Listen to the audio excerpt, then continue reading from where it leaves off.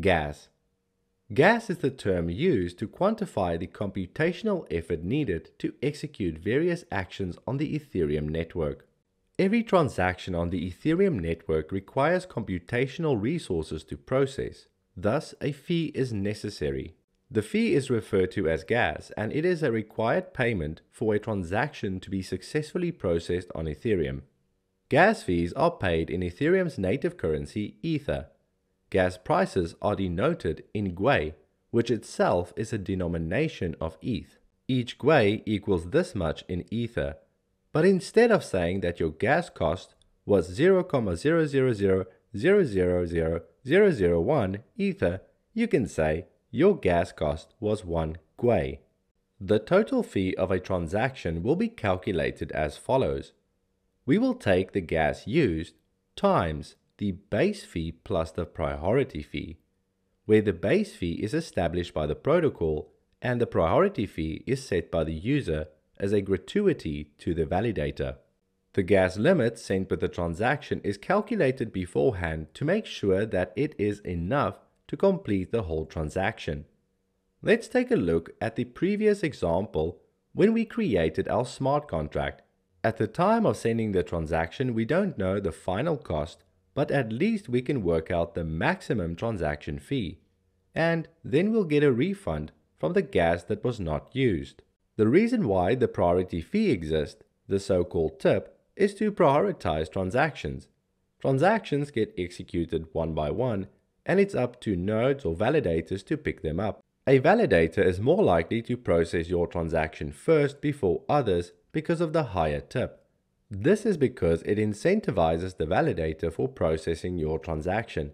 And also, if we really want a transaction to be processed quickly, we can add a higher tip.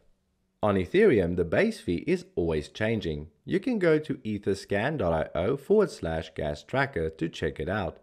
Currently, this is the base fee for an average transaction, plus a priority of 2.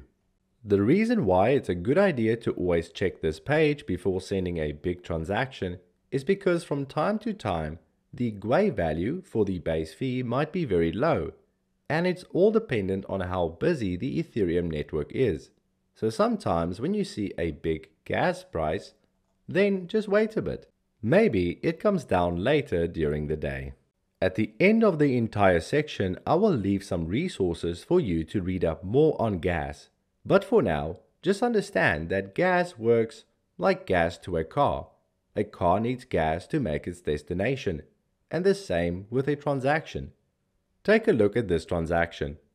An external account, let's say our account, we want to call some action on a smart contract. We construct a message, we give it some gas fee, the transaction fee, and send it to the Ethereum network. The EVM processes this request, running the opcodes, and this all consumes gas.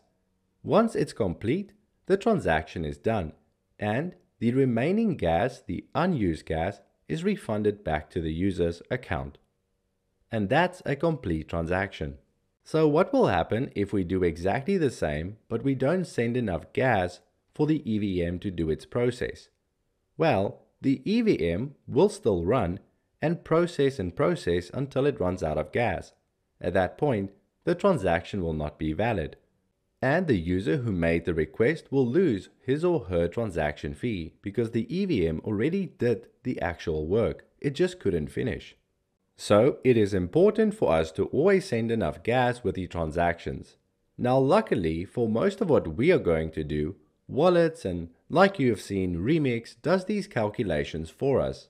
We just need to know that this process exists and why it exists so that we are happy to pay the gas because we know nodes will do the work.